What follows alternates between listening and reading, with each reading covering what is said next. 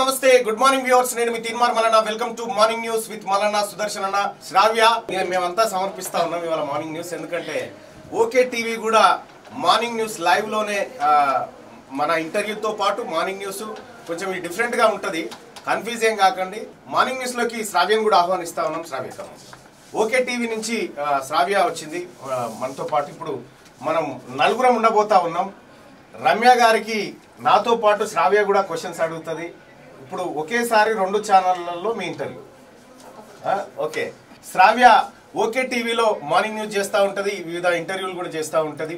అయితే ఒక ఇంటర్వ్యూ కావాలన్నా అని చెప్పి నన్ను అడిగితే అట్లా కాదు ఇంటర్వ్యూ గిట్లా చేద్దాం రా అని చెప్పి నేనే పిలిచిన. కానీ ఇంటర్వ్యూ కన్నా చాలా పెద్ద అవకాశం అన్న. Thank you thank you so much రైట్గా same time ప్రేక్షకులకు చెప్పేది ఏంటంటే సాటి యూట్యూబ్ ఛానల్ లేకపోతే సాటి వ్యక్తులుగా మీ అందరికి తెలుసు గతంలోనే రఘును రవిప్రకాష్ అన్యాయం చేస్తే మళ్ళీ తీసుకొచ్చి సగర్వంగా నిలబెట్టినటువంటిది తీన్మార్ మల్లన్న ఇంకో యూట్యూబ్ ఛానల్కి కాంపిటేటర్ కాదు. ఇది ఒక పోరాట సంస్థ మాత్రమే. అందుకోసమే ఖచ్చితంగా అన్ని యూట్యూబ్ ఛానళ్ళకి ప్రజల పక్షాన నిలబడే అన్ని ఛానళ్ళకి మేము అండగా నిలబడతాం. శ్రావ్య అని ఓకే టీవీ. ఈ ఓకే టీవీ లైవ్లో మీరు కూడా ఉన్నారు ఇప్పుడు. తన గొంతు చాలా గంభీరంగా ఒక దాడి చేసినట్టు ఉంటది అన్నట్టు ఆ గొంతు. వాట్ ఈస్ దిస్ లిక్కర్ రేట్లు తగ్గించిన మరి పెట్రోల్ డీజిల్ మాట ఏంటి సేల్స్ పెంచుడే టార్గెట్గా మందు ధరలు దించిన రాష్ట్ర సర్కార్. పెట్రోల్ డీజిల్ పై కేంద్రం రెండు సార్లు ఎక్సైజ్ డ్యూటీని ఇతర స్టేట్ వ్యాట్ను తగ్గించిన మన దగ్గర తగ్గిస్తలే. అధిక పెట్రోల్ డీజిల్ ధరల్లో తెలంగాణ సెకండ్. వ్యాట్లో ఫస్ట్. పెట్రోల్ పై ముప్పై ఐదు పాయింట్ రెండు శాతం డీజిల్ పై ఇరవై ఏడు శాతం చొప్పున వ్యాట్ వసూలు. వాటి ధరలు తగ్గిస్తేనే నిత్యావసరాల వస్తువుల రేట్లు తగ్గేది. పెట్రోల్ పై వ్యాట్ అధికంగా ఉన్న రాష్ట్రాలు ఏమంటే తెలంగాణ రాష్ట్రంలోనే మొత్తం దేశంలోనే తెలంగాణ రాష్ట్రంలోనే ముప్పై ఐదు పాయింట్ రెండు శాతం VAT VAT value added tax వసూలు చేస్తా ఉన్నారు. ఈ వాల్యూ యాడెడ్ ట్యాక్స్ అనేది ఒక చాలా చమత్కారమైనటువంటి ట్యాక్స్ ఇది. ఎప్పుడైతే పెట్రోల్ ధర పెరుగుతూ వ్యాట్ ధర పెరుగుతూ ఉంటుంది. వ్యాట్ కూడా పెరుగుతూ ఉంటుంది. వాల్యూ పెరిగిన కొద్దికి ట్యాక్స్ యాడ్ అవుతూ ఉంటుంది. వాల్యూ యాడెడ్ ట్యాక్స్ కాబట్టి దేశంలోనే అత్యధిక పెట్రోల్ ప్రైస్ ఉన్నటువంటి రాష్ట్రంలో తెలంగాణ కూడా ఉంది. ఇది అత్యధికంగా ముప్పై ఐదు పాయింట్ రెండు శాతం వ్యాట్ వసూలు చేస్తూ ఉన్నారు. పంజాబ్ అనేటువంటి దే- రాష్ట్రం తీసుకుంటే పంజాబ్ పంజాబ్ అంటే ఐదు నదులు. వ్యవసాయ ఆధారిత రాష్ట్రం. వ్యవసాయ ఆధారిత రాష్ట్రంలో ప్రజలంతా ఎక్కువగా వ్యవసాయం మీద ఆధారపడతారు కాబట్టి వ్యవసాయ అవసరాల కోసం వాడేటువంటి ట్రాక్టర్లు కానీ వరి కోత మిషన్లు కానీ వీటికి ఎలాంటి ఇబ్బంది రావద్దని చెప్పి డీజిల్ పైన వ్యాట్ తగ్గించారు అక్కడ. డీజిల్ పైన వ్యాట్ తగ్గించారు. అంటే ఒక అబ్కీ బార్ కిసాన్ సర్కార్ అనుకుంటూడే ముప్పై ఐదు శాతము. ఏ సర్కార్ అని చెప్పినోడు ప్రజల సంక్షేమం కోరినోడేమో ఆడ ఇరవై శిల్లాలు ఉంటుంది అంతే. తెలంగాణలో ఇంత ఉంటే రాజస్థాన్లో ముప్పై ఒకటి పాయింట్ సున్నా నాలుగు ఏపీలో ముప్పై ఒకటి కేరళలో ముప్పై పాయింట్ సున్నా ఎనిమిది మధ్యప్రదేశ్లో ఇరవై తొమ్మిది. ఇవన్నీ కూడా చూస్తే బీజేపీ ఇతర ప్రభుత్వాలు ఇవన్నీ. బీజేపీ ఇతర ప్రభుత్వాలు ఎక్కువగా వీటిపైన ఆధారపడి ఉంటా ఉన్నాయి. ఇప్పుడు పెట్రోల్ డీజిల్ అనేటువంటి అంశంలో వ్యాట్ జిఎస్టీ ఎయిటీన్ పర్సెంట్ లేకపోతే నైన్ పర్సెంట్ టెన్ పర్సెంట్ అని చెప్పి చెప్తా ఉన్నారు.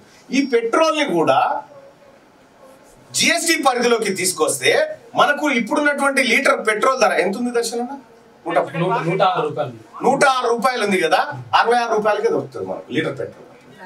వ్యాట్ వ్యాట్ తీసేసి దీని ప్లేస్లో జిఎస్టీ తీసుకొస్తాయి అయితే ఇక్కడ హరీష్ రావు గారు ఆర్థిక మంత్రి తర్వాత ఈ జిఎస్టీ కౌన్సిల్ భేటీలో వివిధ రాష్ట్రాల ఆర్థిక మంత్రులు కూర్చొని మాట్లాడినప్పుడు జిఎస్టీ పరిధిలోకి పెట్రోల్ డీజిల్ తీసుకొద్దామంటే వద్దు వద్దు వద్దు వద్దు అని అంటా ఉన్నారు. అందులో ముఖ్యంగా హరీష్ రావు గారే చెప్పింది ఈ మాట.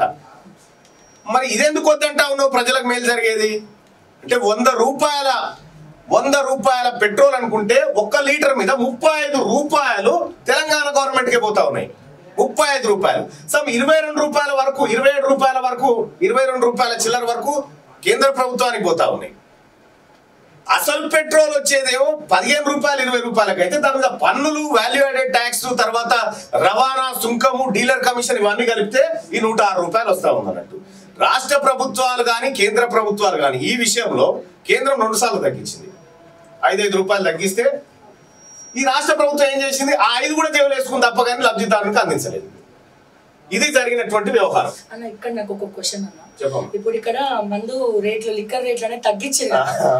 ఆ తగ్గించిండ్రు మరి తెలంగాణ మొత్తం చెప్పాలంటే మొత్తం మందు బాబులు ఎక్కువ ఇప్పటికే తాగుతా ఉన్నారు. తగ్గించినందుకు ప్రభుత్వానికి మేలు జరుగుతుందా ఇక్కడ ప్రజలకు ఇబ్బంది అవుతుందా ఒకటి తాగేటోడు రెండు తాగుతాడేమో. అంతే కదా? దాని గురించి మీ అభిప్రాయం? సేల్స్ పెంచడానికి. ఇప్పుడు దాన్ని ఏమంటారు ఈ శాఖని? మద్యపాన నియంత్రణ శాఖ. శాఖలోనే ఉంది కదా? నియంత్రణ అనేది అంటే మద్యపానాన్ని నియంత్రించడం కోసం పెట్టినటువంటి ఆబ్కారీ శాఖ. ఆ శాఖకు టార్గెట్ ఇచ్చి ఈ నెలలో నువ్వు ఇంత మద్యం తాగిపియాలి ప్రజలతోటి. నువ్వు ఏమైనా చెయ్యి. ఇన్ని కేసుల బీర్లు అమ్మేసేయాలి. ఇన్ని కాటన్ల క్వార్టర్లు అమ్మేసేయాలనే టార్గెట్ పెట్టిన తర్వాత దానికి మద్యపాన నియంత్రణ శాఖ అని పెట్టుకుంటే ఏమైనా అర్థం ఉందా ఇంకా? అస్సలు లేదన్నా. నేను ఇంకా ఒక ఇక్కడ ఒక ముఖ్య విషయం కూడా తెలియజేయాలి. ఇప్పుడు మీలాంటి జర్నలిస్ట్ సోద- సోదరులు ఇప్పుడు వెలుగులో వచ్చింది. వ్యాట్ ఈస్ దిస్ అని. పేపర్లకి జర్నలిస్ట్ సోదరులు వ్యాట్ ఈస్ దిస్ అనడము కాదు. ఇది చూసుకొని గమనించుకొని ప్రజలు వాట్ ఈస్ దిస్ అని ప్రభుత్వాన్ని అడగాలి. బయటికి రావాలా? వాళ్ళు అడుగుతలేరనే కదా నిన్ను పట్టుకొచ్చి అందరి తరఫున నేను అడుగుతున్నా ముఖ్యంగా మహిళల తరఫున నేను అడుగుతున్నా డెఫినెట్గా అందరం కూడా బయటికి రావాలి. ఈ లిక్కర్ రేట్లు తగ్గి ఇంకా పిచ్చి పిచ్చిగా యాలాపాలా లేకుండా తాగేసి చాలా ఇబ్బందులు పడుతున్నారు. రెండు విషయాలు చూసుకోవచ్చు అక్క మనము ఇప్పుడు లిక్కర్ రేటు ఒక చీప్ లిక్కర్ ఎంత ఉంది? వంద రూపాయలు ఉందా? నూట ఎనభై రూపాయలు. నూట ఎనభై రూపాయల? నూట ఎనభై రూపాయలక్క Quarter. అసలు రెండు వేల పద్నాలుగులో ఒక క్వార్టర్ ధర ఎంత? యాభై రూపాయలు అరవై రూపాయలు. ఉండేది చీప్ లిక్కర్ క్వార్టర్ పైన దాదాపుగా ఒక వంద రూపాయల వరకు పెరిగింది అనుకుందాం. ఓకే. ఒక సరే కాయ కష్టం చేసి వచ్చిన రైతు కూలియో నాలో రోజుకో క్వార్టర్ కొనుక్కొని తాగిండు అనుకుందాం అక్క. అంటే నెలకు ఎన్ని అవుతున్నాయి అక్క? మూడు వేల రూపాయలు. ఆ? మూడు వేలు. ఆరు నెలలకు ఎంత అవుతుంది అక్క? పద్దెనిమిది వేల రూపాయలు. పద్దెనిమిది వేల రూపాయలు ఈ రైతు వైన్స్ కడతా ఉన్నాడు. Extra extra. కాకుండా ఎక్స్ట్రా ఇది. ఒరిజినల్ బేస్ ప్రైస్ కాకుండా ఇది ఎక్స్ట్రా కడతా ఉండు అంటే కేసీఆర్ ముఖ్యమంత్రి కాక ముందుకున్నటువంటి ధర ఇప్పటి ధర చూసుకుంటే ఒక రైతు ఆరు నెలల్లో పద్దెనిమిది వేల రూపాయలు వైన్స్ కడతా ఉన్నాడు. ఈ ప్రభుత్వం అంటే ప్రభుత్వానికి కడుతుంది ఈ ప్రభుత్వం ఈ రైతుకి ఎంత ఇస్తా ఉన్నదంటే ఎకరాకు ఐదు వేల రూపాయలు ఇస్తా ఉన్నది. అంటే ఐదు వేల రూపాయలు ఇచ్చినోడే నేను రైతులందరినీ చాపుతున్నా అన్నప్పుడు మరి పద్దెనిమిది వేల రూపాయలు నీకు కడతా ఉన్నారు కదా. నువ్వు రైతులను చాపుతున్నావా రైతులు నిన్ను చాపుతున్నారా ఇది చర్చ. కదక్క. అయితే ఇక్కడ ఈయన ఇచ్చినటువంటి రైతు బంధు ఏంటంటే కుండ. ఈయన ఎత్తుకపోతుంది భగవాని. అంతే కదా? లీటర్ పెట్రోల్ డీజిల్ పై వసూళ్ళు ఇగో ఇట్లా ఉన్నాయి? హైదరాబాద్లో పెట్రోల్ బేస్ ప్రైస్ యాభై ఏడు రూపాయల ముప్పై ఐదు పైసలు. కేంద్ర ఎక్సైజ్ డ్యూటీ పంతొమ్మిది రూపాయల తొమ్మిది పంతొమ్మిది రూపాయల తొమ్మిది పైసలు దానిపోతాయి డీలర్ కమిషన్ మూడు రూపాయల తొంభై ఏడు పైసలుగా ఉంది. వీటి మొత్తం పై రాష్ట్ర సర్కారు వీటి మొత్తం పైన మళ్ళా ఈ పన్నుల పైన పన్ను. వీటి మొత్తంపై రాష్ట్ర సర్కారు వ్యాట్ ముప్పై ఐదు పాయింట్ రెండు శాతం వేయగా లీటర్ పెట్రోల్కు నూట తొమ్మిది రూపాయలు అరవై ఆరు పైసలకు అమ్ముతున్నారు. డీజిల్ బేస్ ప్రైస్ యాభై ఎనిమిది రూపాయలు అరవై ఐదు పైసలు ఉంటే కేంద్ర ఎక్సైజ్ డ్యూటీ పదిహేను పాయింట్ ఎనిమిది. మీరు ఇక్కడ చూడండి కేంద్రం డీజిల్ పైన తగ్గి- తక్కువేసింది పెట్రోల్ పైన ఎక్కువేసింది. ఎందుకంటే ఇది ఆ, అవసరాలకు తీర్చండి రవాణా లేకపోతే ట్రాన్స్పోర్ట్ ఆ ట్రాన్స్పోర్టేషన్ వ్యవసాయ అవసరాల కోసం. ఇది అట్లేం లేదు. ఈ డీజిల్ పైన ఇంతే దానిపైన ఇంతే. ఈ రకంగా డీలర్ కమిషన్ రెండు రూపాయల ఆరు పైసలు ఉంది. వీటి మొత్తంపై రాష్ట్ర ప్రభుత్వం వ్యాట్ ట్వంటీ సెవెన్ పర్సెంట్ వేయగా లీటర్ డీజిల్ తొంభై ఏడు రూపాయల ఎనభై రెండు పైసలకు అమ్ముతా ఉన్నారు. మరి కేంద్ర ప్రభుత్వం రెండు సార్లు తగ్గించింది కదా ప్రజలకు మంచి జరగాలని ఈయన తగ్గించలే.